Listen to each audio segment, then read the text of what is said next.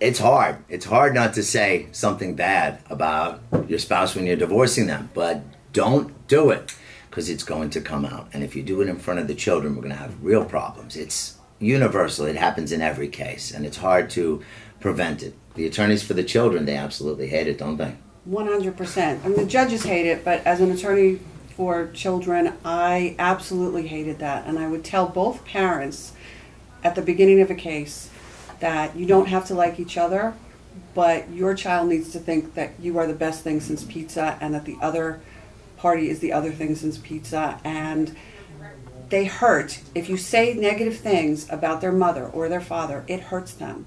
It also goes, what about when the child comes home and if they say something negative about the other parent, you should be telling them, don't talk bad about your father or mother. Because what happens is when they're saying something bad about the other parent and they get a rise out of you, they'll notice that mommy likes it when I say that daddy's visitation was no good. Yes, because children in the middle of divorce are looking for ways to be accepted. They also are Play both ends to the They- middle. I was going to say they're manipulative. they know exactly where to go to get the kind of reaction they want. So if they want to get that iPad, they know just what to say um, to the parent. Absolutely. You think your spouse was manipulative, try your children and don't empower them.